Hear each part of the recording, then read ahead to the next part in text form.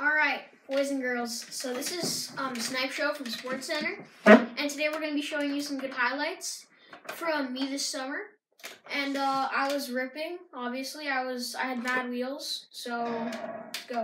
All right, boys and girls. Weren't those great? Snipe Show signing out. Boys and girls, I nominate Sam Hoshikogi.